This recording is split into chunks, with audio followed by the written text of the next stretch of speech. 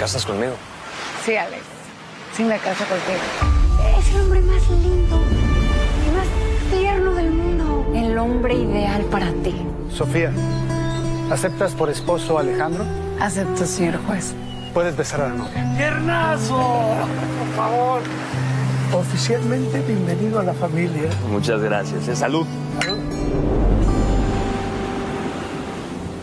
Grupo Alba ha demostrado ser líder en todas sus áreas.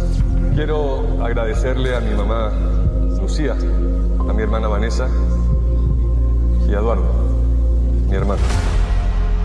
Alejandro, yo solo quiero estar contigo.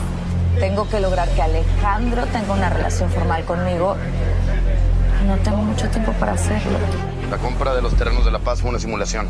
¿Eduardo se quedó con el dinero de esa compra? Para que me puedas engañar, tendrías que volver a nacer. Ya te lo dije. Espero ese dinero de regreso. Tienes hasta mañana. Y está corriendo el tiempo. Eduardo nunca aceptó que por casarte con el padre de Alejandro y Vanessa, los vieras como tus hijos. Eres el director, pero no tienes por qué tratarnos como si fuéramos tus empleados. Alejandro y yo nunca nos vimos como hermanos. Mi mamá hacía todo para que estuviéramos juntos, pero solamente logró que yo lo odiara cada día más. ¿Cómo te llamas? Rebeca. Álvaro.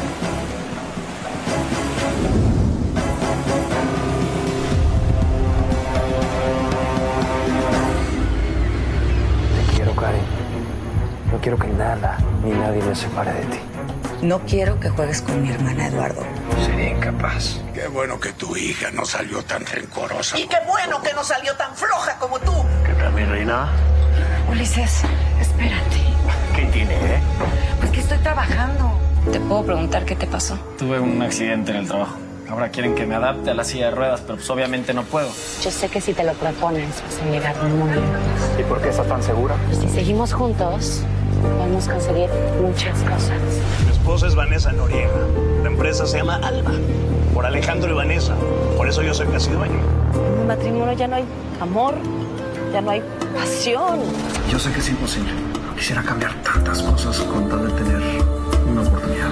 Si usted nada más piensa que su hija está feliz, es lo correcto. Piense que ella está enamorada y con eso le llega la paz y la tranquilidad. Alejandro se casó en La Paz. ¿Cómo que se casó en La Paz? Eso no puede ser. Entonces ya está todo listo, Álvaro. Así es, jefe. Todo quedó justo como querías. Nombre real es Eduardo. Alejandro Noriega es mi hermano. ¿Alejandro? Hay dos cosas que no tengo claras. El accidente y mi relación con Sofía. Oye, pero no me has contado cómo es que dieron con ella. Yo no entiendo por qué Alejandro se pudo fijar en una mujer así. El Alejandro que yo creía en realidad se llama Eduardo. Es el hermano del verdadero Alejandro. Quiero que vayas al juzgado donde fue mi boda civil.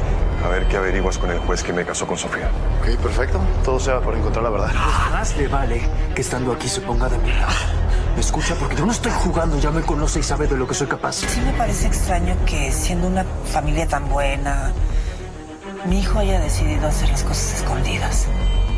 No presentarnos como la familia que íbamos a ser. Sofía, recuerda los momentos que tú y yo vivimos. Ay, por favor. Vi a Sofía y Eduardo discutiendo, pero muy de cerca, pero reclamándose cosas que no alcancé a escuchar. ¿Qué haces aquí? Te dije que no te ibas a librar de mí nunca. Te exijo que dejes de meterte con mi familia y con Alejandro. ¿Ya te diste cuenta de que Alejandro solo te va a usar hasta que se harte de ti? Que más te preocupa Sofía, ¿verdad? ¿Por qué? Porque me estoy enamorando de ella.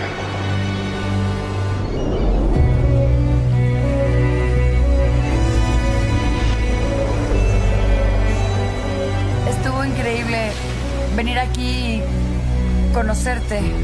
Solo falta algo más para. para que no la pueda olvidar nunca.